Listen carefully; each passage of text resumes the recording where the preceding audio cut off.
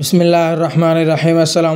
दोस्तों, हाफिज़ मोहम्मद असर आए। फिर थोड़ी खिदमत जो रैसपी लै बहुत ही ज़बरदस्त, बहुत ही आसान बन के तैयार होने वाली रैसपी। फ़िश फ्राई की रैसपी ये मैरीनेशन की रेसिपी भी ये ही होगी। इन शाला तला तो फ्राई करने का भी तरीका दसूँगा अक्सर लोग कहें साड़ी फ़िश कच्ची रह जाती सही तरह पकती नहीं सारे राज इतने इसी वीडियो के दसूँगा दोस्तों, चैनल तो नवे, चैनल सबसक्राइब कर लो।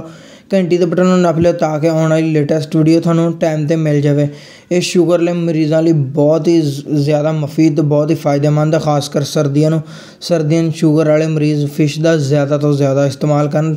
ਇਹਦਾ ਬਹੁਤ ਹੀ ਫਾਇਦਾ ਖਾਸ ਕਰ ਸ਼ੂਗਰ ਵਾਲੇ ਮਰੀਜ਼ਾਂ ਨੂੰ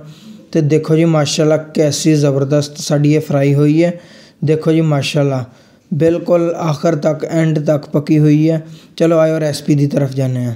ਬਿਸਮਿਲ੍ਲਾਹਿਰਰਹਿਮਾਨਿਰਰਹੀਮ देखो जी माशाल्लाह तकरीबन साढ़े तीन किलो फिश है मैं अच्छी तरह वाश कर लिया इस वाश करने का तरीका मेरे चैनल पर मौजूद है तो लिंक डिस्क्रिप्शन में मिल जाओ उस तो बाद तीन टेबल स्पून अदरक तो तीन टेबल स्पून लसन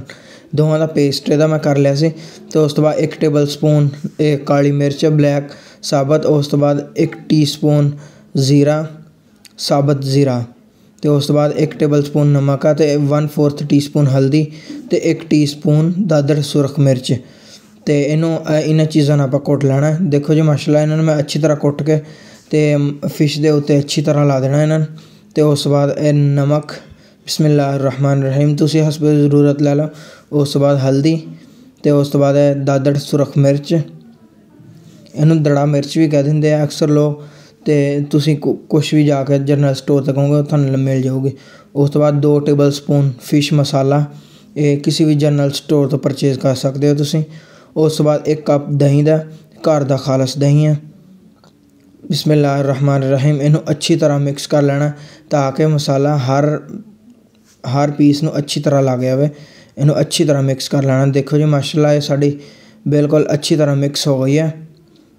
ਤੇ ਤਕਰੀਬਨ ਇਹਨੂੰ ਆਪਾਂ 5 ਤੋਂ 6 ਘੰਟੇ ਆਪਾਂ ਇਹਨੂੰ ਮੈਰੀਨੇਟ ਕਰਨਾ ਹੈ। ਜੇ ਤੁਸੀਂ ਇੱਕ ਰਾਤ ਕਰ ਲਓ ਤੇ ਜ਼ਿਆਦਾ ਬਿਹਤਰ ਆ ਇੱਕ ਰਾਤ ਕਰ ਲਓ ਬਿਸਮਿਲ੍ਲਾਹਿਰ ਰਹਿਮਾਨ ਰਹੀਮ ਤਕਰੀਬਨ ਦੇਖੋ ਜੀ ਮਾਸ਼ਾਅੱਲਾ 4 ਘੰਟੇ ਹੋ ਗਏ 4 ਤੋਂ 5 ਘੰਟੇ 4 ਤੋਂ 5 ਘੰਟੇ ਬਾਅਦ ਇਹਨੂੰ ਅੱਛੀ ਤਰ੍ਹਾਂ ਮੈਂ ਹਿਲਾ ਲੈਣਾ ਹਿਲਾ ਕੇ ਅੱਛੀ ਤਰ੍ਹਾਂ ਤੇ ਫਿਰ ਉਸ ਤੋਂ ਬਾਅਦ ਕੜਾਈ ਮੈਂ ਚੁੱਲ੍ਹੇ ਤੇ ਚੜਾਤੀ ਹੈ ਕੁਕਿੰਗ ਆਇਲ ਪਾ ਕੇ ਦੋਸਤੋ ਚੈਨਲ ਤੇ ਨਵੇਂ ਚੈਨਲ ਨੂੰ ਸਬਸਕ੍ਰਾਈਬ ਕਰ ਲਓ ਘੰਟੀ ਦਾ ਬਟਨ ਨੂੰ ਨੱਪ ਲਿਓ ਤਾਂ ਕਿ ਆਉਣ ਵਾਲੀ ਲੇਟੈਸਟ ਵੀਡੀਓ ਤੁਹਾਨੂੰ ਟਾਈਮ ਤੇ ਮਿਲ ਜਾਵੇ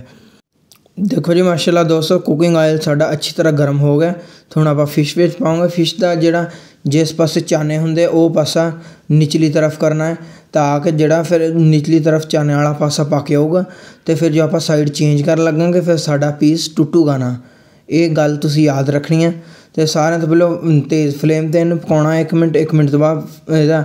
ਅੱਗ ਬਿਲਕੁਲ ਮੱਠੀ ਕਰ ਦੇਣੀ ਹੈ। ਜੇ ਤੁਸੀਂ ਗੈਸ ਵਾਲੇ ਚੁੱਲ੍ਹੇ ਤੇ ਪਕਾਓ, ਉਹ ਫਲੇਮ ਬਿਲਕੁਲ ਲੋ ਕਰ ਦਿਓ। ਤੇ ਮੈਂ ਲੱਕੜੀਆਂ ਤੇ ਪਕਾਉਣ ਲਿਆ, ਇਸ ਤੋਂ ਮੈਂ ਇਹਦੀ ਅੱਗ ਬਿਲਕੁਲ ਮੱਠੀ ਕਰ ਦੇਣੀ ਆ ਦੇਖੋ ਜੀ ਮਾਸ਼ਾਅੱਲਾ ਤਕਰੀਬਨ ਇਹਦੀ ਅੱਗ ਮੈਂ 1 ਮਿੰਟ ਪਕਾ ਕੇ ਤੇ ਅੱਗ ਇਹਦੀ ਬਿਲਕੁਲ ਮੱਠੀ ਕਰਤੀ ਹੈ ਤੇ ਤਕਰੀਬਨ ਤੁਸੀਂ ਗੈਸ ਤੇ ਪਕਾਓ ਤੇ ਮੀਡੀਅਮ ਤੋਂ ਲੋ ਫਲੇਮ ਤੇ ਪਕਾਓ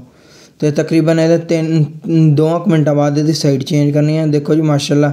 2 ਤੋਂ 3 ਮਿੰਟ ਹੋ ਗਏ ਆ ਤੇ ਇਹਦੀ ਮੈਂ ਸਾਈਡ ਚੇਂਜ ਕਰ ਦੇਣੀ ਆ ਤੇ ਇਹਦੀ ਸਾਈਡ ਚੇਂਜ ਕਰ ਦੇਣਾ ਹੈ ਤੈਨੂੰ ਤਕਰੀਬਨ ਆਪਾਂ 15 ਤੋਂ 20 ਮਿੰਟ ਪਕਾਉਣਾ ਹੈ ਮੀਡੀਅਮ ਤੋਂ ਲੋ ਫਲੇਮ ਤੇ ਇਨਸ਼ਾਅੱਲਾ ਤਾਲਾ ਤੁਹਾਡੀ ਅੰਦਰ ਤੱਕ ਪੱਕੂਗੀ ਬਹੁਤ ਹੀ ਜ਼ਬਰਦਸਤ ਬਹੁਤ ਹੀ ਟੇਸਟੀ ਬਣ ਕੇ ਤਿਆਰ ਹੋਊਗੀ ਤੁਸੀਂ ਆਫ ਸਾਹਿਬ ਨੂੰ ਦੁਆਵਾਂ ਦੋਗੇ ਬਹੁਤ ਹੀ ਜ਼ਬਰਦਸਤ ਸਾਡੀ ਫਿਸ਼ ਫਰਾਈ ਹੋਈ ਹੈ ਦੇਖੋ ਜੀ ਮਾਸ਼ਾਅੱਲਾ ਤਕਰੀਬਨ ਇਹਨੂੰ ਮੈਂ 15 ਤੋਂ 20 ਮਿੰਟ ਪਕਾਇਆ ਬਿਲਕੁਲ ਲੋ ਫਲੇਮ ਤੇ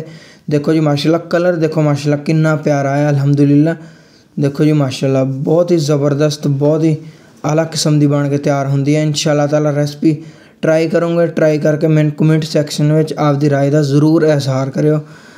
ਕਿੱਦਾਂ ਦੀ ਬਣੀ ਮੇਰੀ ਰੈਸਪੀ